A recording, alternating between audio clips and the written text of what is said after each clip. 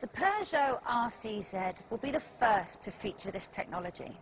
So we've got Vince Clisham, the product manager of the RCZ, to give us a demonstration. Now, music is a great way to change somebody's mood. So let's start with something uplifting.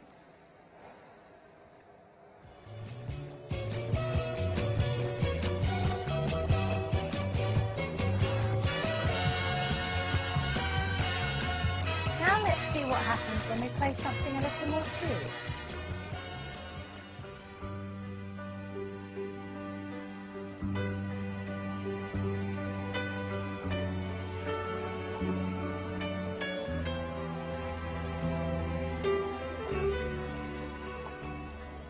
Heat reactive sensors built into the steering wheel read the driver's body temperature and estimate their mood and then change the colour accordingly.